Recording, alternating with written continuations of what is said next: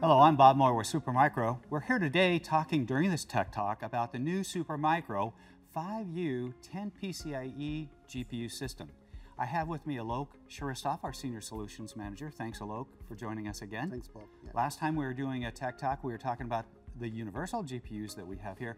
They have the internal SXM form factor GPUs. This happens to have the PCIe form factor. We're showing it here in the 5U height, but of course it comes in the 4U as well. Yes, so can you give us a brief overview of the technology, the storage, the memory, the processor, of course, the new Intel Xeon fourth generation scalable processor?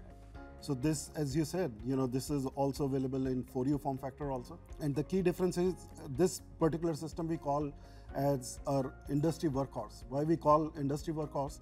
Because this did really well with the previous generations and uh, it is all set to do you know well with this next generation as well.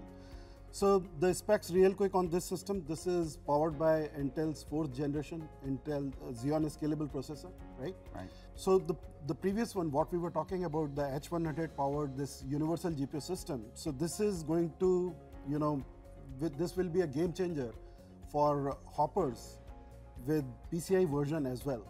Right. So that's that's the beauty of this system. And uh, for the specs, real quick on this one, this is also powered by you know two CPUs, uh, dual CPU, 32 DIMM slots. It can go up to 8 terabytes of local memory, 24 drive bays as you can see here. And out of these 24 drive bays, you know, 8 will be NVMe U.2 drives by default. And there is an option to add 8 more drives. And on top of that, you can add 2 more drives, M.2 drives, for operating systems. So this is on the storage side. And for all those applications that calls for lots and lots of local storage, this is the perfect system to go with. Wow. Second thing, you know, at uh, uh, for, for the expansion slots, it has 13 PCI slots, and out of which, um, you know, six are via PLX switch and one direct CPU connect. And wow. on top of that, there is one AIM slot also.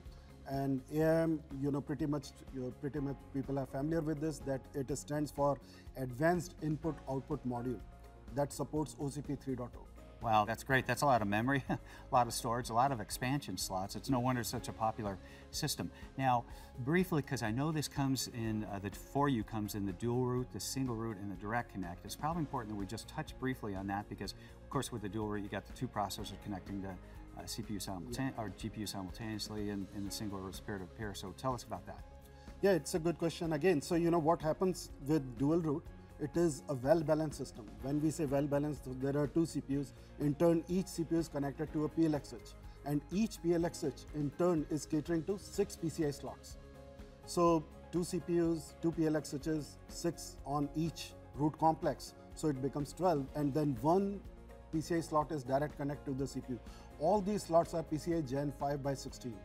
And as I said, you know, the memory is also DDR5. So all these components on this particular system is going to be the latest and greatest components. Wow, fantastic. It sounds great. Okay, so dual root, single root, direct connect on the the direct of course no switch in that one so yeah so that is that is the key that uh, in direct connect there is no plx switch right. so it is direct the the pci slots are directly connected to the cpu so low latency and in single root you know what happens is the two plx switches they both are connected to single cpu that's single root. Right. Okay, perfect. Uh, since we're talking about those and the GPUs, let's pull this out and yeah. take a look at it because there they are right in the back there. Why don't you describe them a little bit and uh, go into a little detail.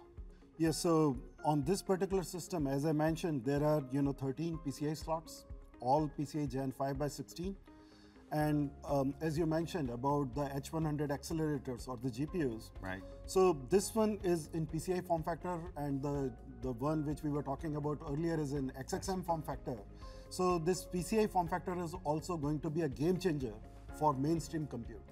So what it means basically on this particular system, you can put up to 10 this um, H100 GPUs but here you can see eight of them are installed and two slots are open so that you can see you know how these PCI slots are. Right. And on top of that, this particular system, as I mentioned, this is you know PCI Gen 5 by 16. So you can use CX7, NVIDIA's CX7 networking cards that can go up to 400 gigabit per second next. Right. So that is that is second thing. And the third very important thing is that you know in number of cases where you want to surpass the or you want to avoid the bottleneck of the PCI bus. So you can use a converged card, that is a third card, which is also PCI Gen 5 by 16. So by that, by using that converged card, you know what happens is the the chip of this CX7 and H100, they are on same module. So that way you avoid the, the bottleneck of the PCI bus and that is a perfect fit for applications where you know the PCI bottlenecks plays a crucial role you know. So Sure. so for those type of ap- application this is a perfect fit. The fourth one you know the fourth option is called DPU and DPU here stands for data processing unit. And for data processing unit what happens is that in number of cases you know um, it is it is said that in a typical AI environment around 15 to 20 percent of cpu cycles are consumed by for net uh, for infrastructure management. So by adding dpu you can just you know do two things. First you can just you know get rid of this this particular type of workload. So your cpu has 15 to 20 percent of extra cpu cycles for application number one thing. Number two it gives you extra layer of security. So these are the two important things that dpu brings to the table. And it is also called data center infrastructure chip on on just you know one model Very critical. Lots of great flexibility, and I like that we're building in all this new security along with the other security things we're doing. So that's great. You talked about CX7 and DPU. I happen to have a couple of those with me. There's the DPU right Yes, there. yes, yes, this is the CX7. DPU, yes. Yeah. If you want to just show those briefly, you can Yeah. describe it. So on this DPU, as I mentioned, so this this DPU, what what happens is there is um, CX7 chip and also the H100 chip. So these two things, you know, put together, this is this is called DPU, and on the on the other end, this is CX7 NIC. So this can give you up to 400 gigabit, you know, per second of uh, of networking capability. It sounds great, and I can't leave you without talking about where Omniverse is. This is perfect for yeah, Omniverse. yeah. Omniverse and Metaverse, it is creating lots and lots of buzz in the market. And at Supermicro, we have this particular platform, which is a perfect fit, tailor-made for Omniverse and Metaverse type of applications. Why we say that? Because you know, on for for these type of application, according to the reference design, you know what happens is uh, there should be two root complexes, and on each root complex you can put four L40s right? Right. And on each root complex, you have to put one CX7. You can do one CX7 install on each root complex, and on top of that, you have two extra slots that can take care of north north-south traffic. Of course, perfect. I understand that.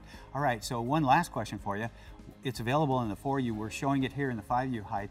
Why do we have the 5U if it's available? Oh yeah, again, you know, it's very very important to you know clarify this. On the 4U, there is limitation, thermal limitation, because you know it can support up to 350 watt TDP the the CPUs or the processors, and it can support up to 300 or 350 watts uh, TDP accelerators. On the other end, you know, this is obvious now that the TDP of the next generation components is going significantly Higher and higher. so for the CPUs with this 5U, this particular system is designed to support up to 400 TDP in terms of pro- uh, processors or you know the CPUs, and also it can support up to 600 watt TDP accelerators. So it is sort of you know future proof.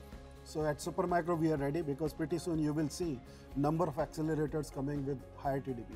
I like that. So, so we're future proofing our solutions for our customers. Alok, that's fascinating, very educational. I appreciate it. Thanks for being with us. And thanks everybody for watching today.